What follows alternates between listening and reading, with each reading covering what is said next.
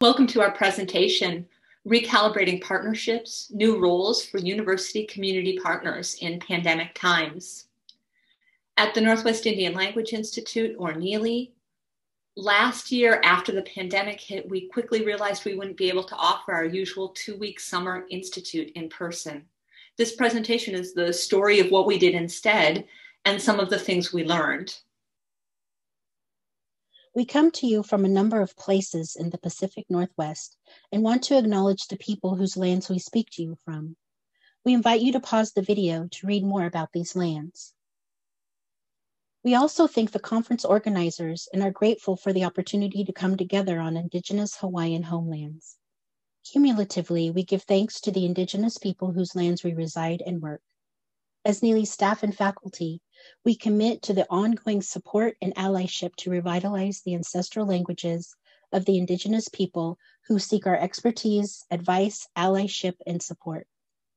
Finally, as we speak to some of the affordances COVID brought to us, we acknowledge the ongoing and painful losses for all of us conference participants. May we find strength and peace together. The Language Revitalization Learning Series came about due to the efforts of many people, and groups of them are listed here. You'll hear more about these people in the presentation, but they have all influenced what we're sharing today. It was truly a team effort. Today, we'll each present a piece of our story. So, Yana will give us a little bit of a background. Marnie will talk about bringing in community. Brittany will discuss the participants. Robert, the design. Keegan, the way we produce the live sessions. Judith will share more about the evaluation, and I'll come in at the end with what we're really walking away from this experience with. With its 23 year history, the Northwest Indian Language Institute at the University of Oregon is among the oldest institutional organizations in the United States dedicated to Indigenous language revitalization. NILI's mission is to support and strengthen Indigenous language preservation, and revitalization efforts. NILI's signature program is an annual summer institute established in 1998. The yearly two week, four credit program serves 50 to 60 Indigenous language teachers, learners, and activists, including tribal youth. In March of 2020, due to health concerns for our participants, NILI began to develop an abbreviated version of its annual Summer Institute for online delivery. NILI collaborated with tribal language partners to create the 10 day language revitalization learning series, featuring 10 experts from different Native communities presenting on topics related to language revitalization. Offered at no cost as a gift during these challenging times. LRLS was a chance for NILI to experiment with synchronous learning and extend our asynchronous online delivery for our Summer Institute audience. Our specific goals were to one, provide a forum for engaging in language revitalization, two, motivate and build community during a time when so many programs had been canceled, and three, increase NILI's impact. When we realized that the Summer Institute may not happen in 2020 because of COVID, we collectively thought we could not let this happen. And several people said, I will help. What can I do? What needs to be done? When we heard these echoes of assistance throughout our community, we got to work planning and building what the 2020 Summer Institute would look like, and it became the Language Revitalization Learning Series, LRLS. We asked past Summer Institute instructors and participants to be instructors for the LRLS. We needed their experience and guidance through this new situation, and they delivered. They worked hard to develop ideas for classes, and with their guidance and experience, provided a more smooth online experience for all participants. Relying on past relationships and networking were key to the Summer Institute 2020 success, or the LRLS. Don't underestimate these relationships when building something new in unknown times. Good standing in the community is also an important component to our success. Do this real and meaningful work from the beginning and always so when hard times come along that they as they surely will you have the support of Indigenous communities to rely on. After bringing in the community partners, we had to start thinking about participants and registration organization and how that might further affect recruitments um, for building the LRLS team. For Summer Institute in normal non-pandemic times, we set out uh, send out the call for registrations through our networks, maybe two or three months ahead of time, and we usually have a fair amount of people register, um, maybe 50 to 70. Uh, we like our in-person Summer Institute participant numbers to be around 50. When we sent out our LRLS registration links through our networks, we posted it um, on our website as well near the end of May a couple weeks before LRLS itself.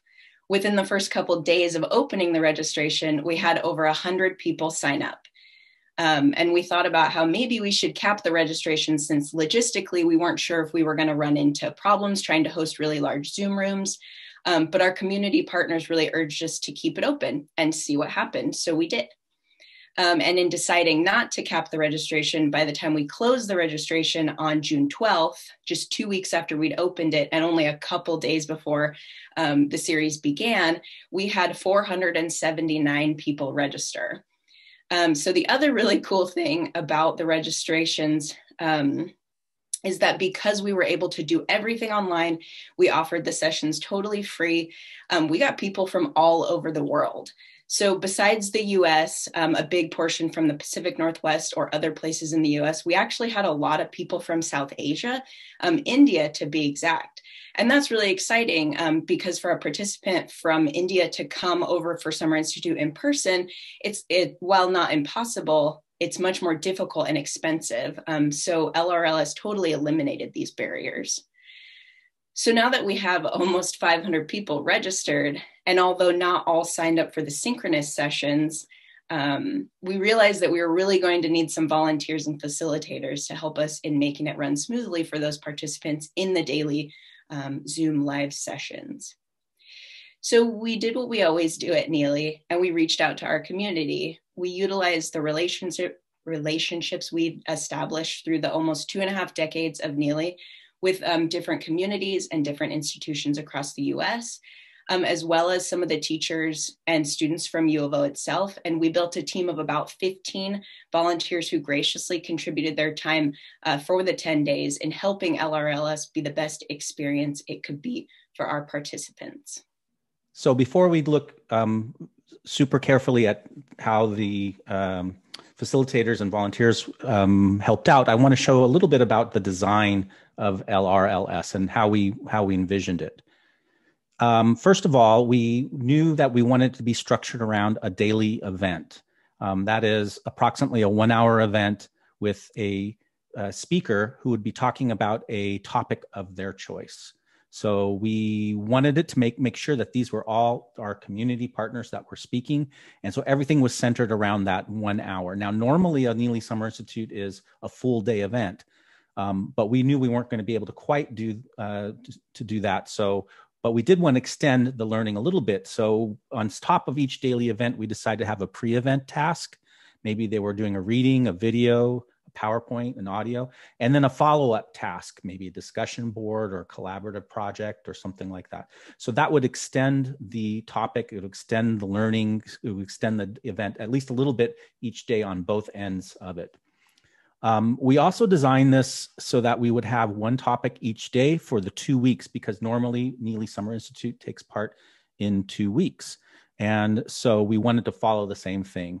And um, as Brittany mentioned, we have facilitators that um, were helping out after in each of the topics because we didn't want them just talking for the full hour. We wanted to have engagement with the uh, as much as possible. So people got to talk to each other. They maybe got to talk to the speaker of that each day. So the breakout rooms allowed us to have facilitators that could increase the engagement participants were able to have in each of the rooms.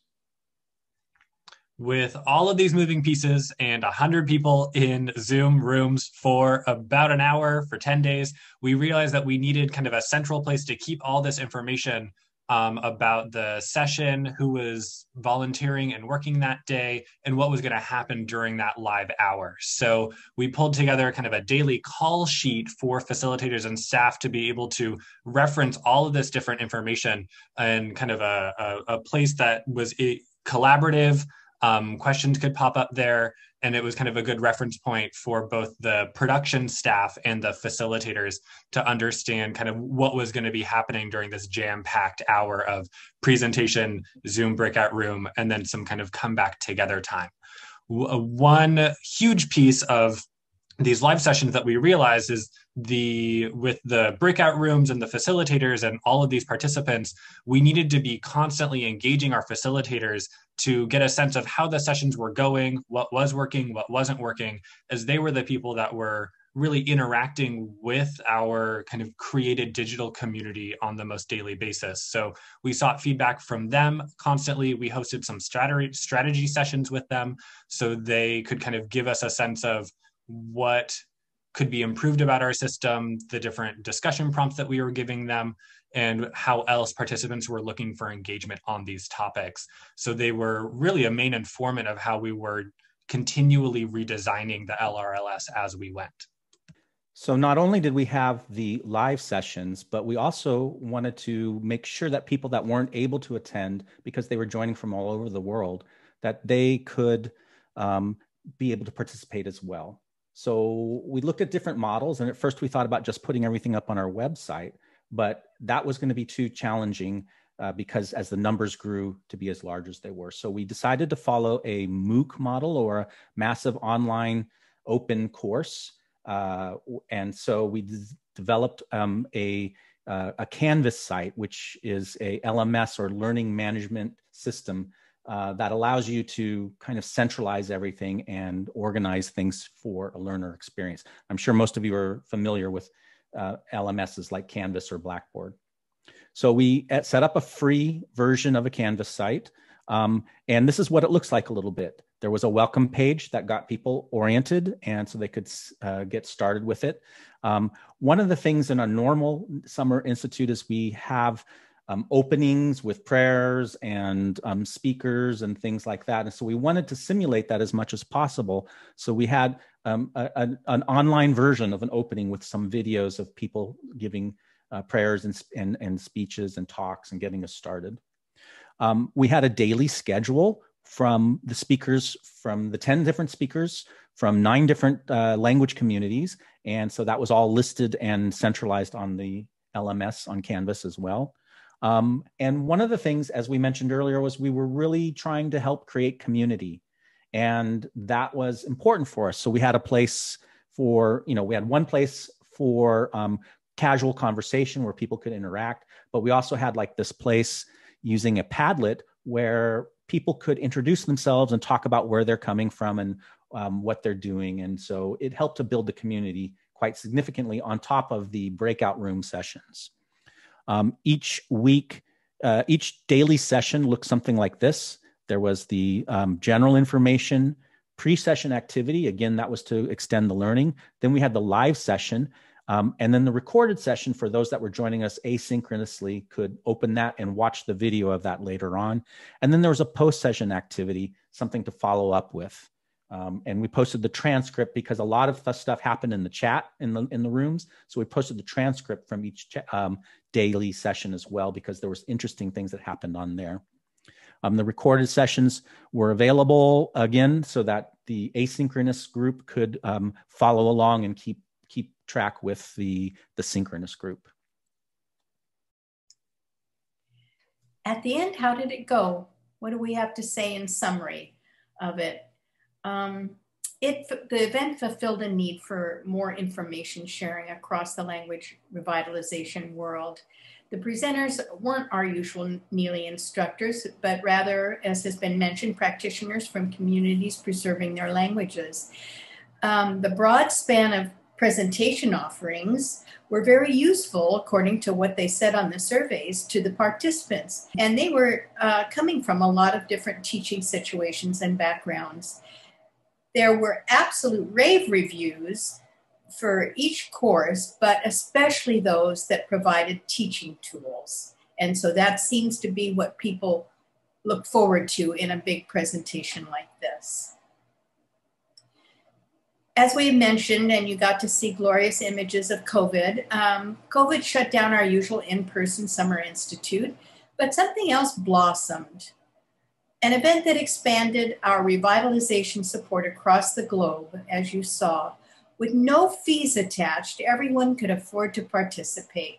With no travel, meals, and lodging needed to attend, participants could be in their own home communities and link up from all time zones. What was exciting were the connections uh, uh that were formed, and participants really seemed hungry for this. They wanted more contact and chat time in breakout rooms. They wanted to hear each other's stories, to feel camaraderie in a field where they often feel very much alone. They left the sessions feeling excited, stimulated, and recharged for their sometimes isolated work. So, as we look forward to Summer Institute 2021, what do we want? We want to be all together at the University of Oregon, gathering classrooms, and that's not going to happen yet. Instead, our Summer Institute will be again online. So we'll, we will, however, return to multi-day classes. We had some NEH CARES funding that supported this course development to continue to reach out to language revitalization practitioners. We will keep the short daily presentations this coming year as well. And we're still seeking ways to build and enhance community at a distance.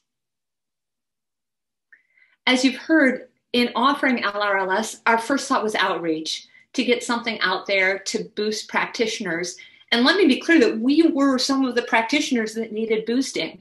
So it was truly a group feeling that this was something needed for us as well as the people who were able to come.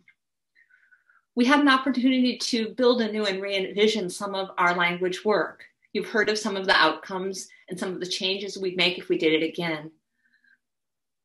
One very important thing was an opportunity to examine and to recommit to our collaborative practices and ideals, to promote the leadership and expertise of more community partners and amplifying more expert voices.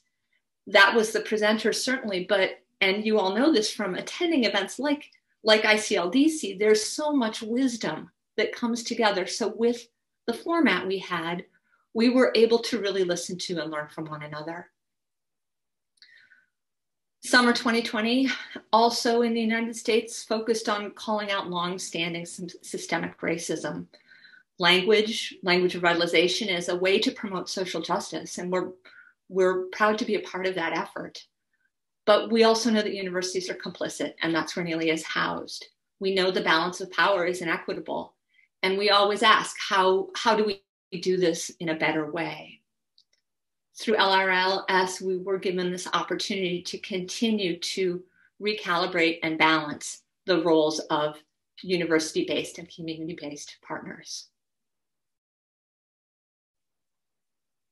Again, we really extend our thanks to all of those who participated as participants, as facilitators, as presenters, as part of the production team.